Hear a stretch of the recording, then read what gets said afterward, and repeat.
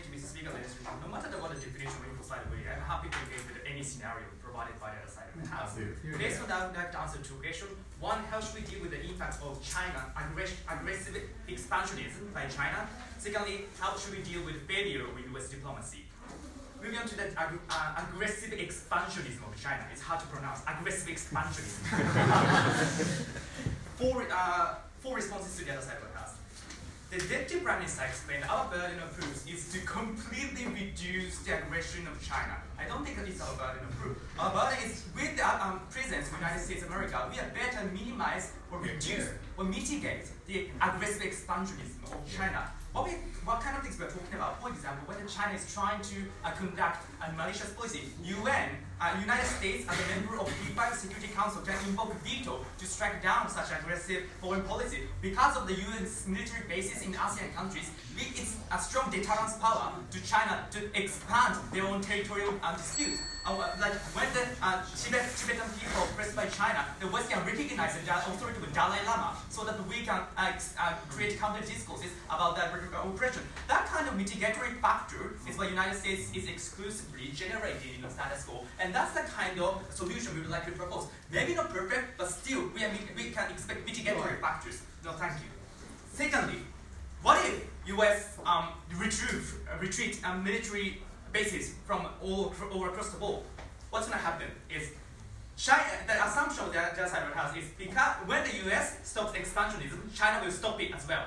No, China also believe that it's good timing. Let's do it even further in order to expand our presence, and that's the incentive, a political and diplomatic incentive of China and Russia. When the United States will retrieve and you know um, uh, withdraw all the militaries or troops from like, many countries across the world, what will happen is that China will even further expand, like gradually islands expansions, or Tibet and Hong Kong. Maybe Russia will exacerbate their expansion to create Crimea and Georgia, and that's the counterfactual that we like they have to defend in this, in fact, which was conceded by Nabeshima-san, saying that China has a strong incentive to cater to domestic political popularity. If that is the incentive, China has all the more incentive to exacerbate or entrench expansionism, and that's the counterfactual.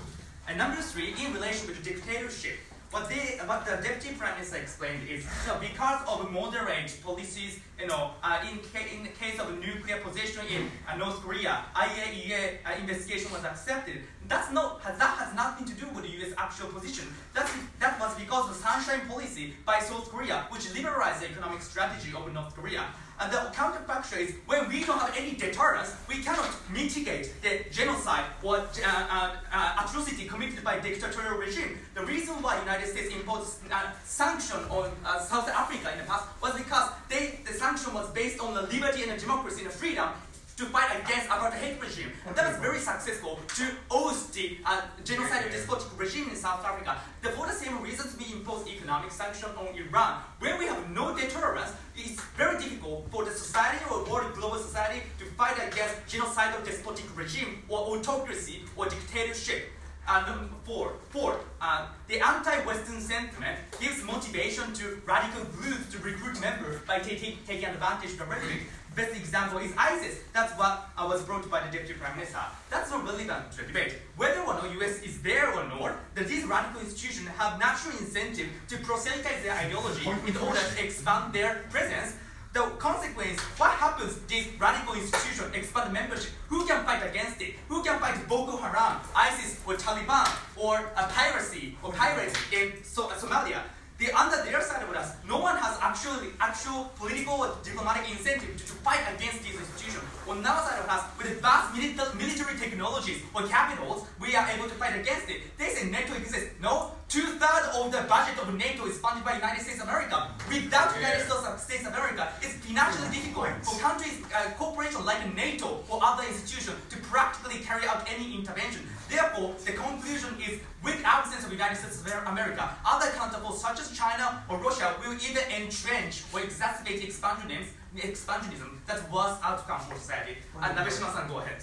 Okay, I'm Nabeshima. So, U.S. actually conducted a lot of military intervention in the past. When we gave you a lot of examples, U.S. failed. Under your side of the house, with the U.S. Uh, expanding, U.S. involvement, how is it going to be successful?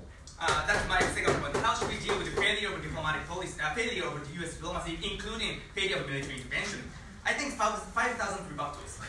Number one, the contradiction of the model. They still allow military intervention in case of multicultural conflicts, right? If their like concerns inv invasion of sovereignty or subjective judgment on the justice system, exactly the same problem is very likely to occur under their multicultural intervention something. That is exactly why we believe their case is inconsistent right from the start. Secondly, Nemoto explained that in order to answer the demand from the, so the social pressure, because US has a pride, we have um, exemplify a pride, right? Exactly the similar kind of criticism and pressure exists inside the United States of America. The bipartisan structure, Congress, um, media, uh, Supreme Court. There are so many democratic actors inside the United States of America who are eager to fight against uh, subjective imposition of the justice system. That is why the democratic scrutiny inside United States is far more exclusively better measure in order to ensure the accountability and transparency of intervention rather than, rather than China and Russia doing so. And number three, their concern is asymmetry information. We don't have much information to share. Therefore, military intervention is likely to fail. No, many intervention is based on multilateral intervention rather than unilateral intervention. Because their context is financial deficit. We don't have budget. That's exactly why United States do not conduct intervention by her own. Because United States has financial incentive to co cooperate with many other countries, just like the case of military intervention into Libya when we uh, against Gaddafi regime. Because of uh, cooperation with other nations inside NATO, we can share information, we can share geographical, geopolitical, strategic information inside the institution. Therefore, practical failure that they have explained is very less likely to happen. And because of the context of a financial deficit, the war of aggression or expansion of United States of America is very less likely to occur. We have to efficiently and strategically allocate limited resources and budget. Therefore, it is a strong counterfactual countermeasures or counter discourse inside the United States of America about the legitimacy of invasion, about the transparency of the intervention. That is why, you know, we were very careful when we deploy private military con contractors or use of drones when we fight against ISIS because there's a strong counter inside the United States about the accountability and transparency of war tactics or military strategy operationalized in the battlefield. And these kind of measures are able to overcome the kind of problems the United States embraces right now in the status quo. We are happy to Thank you.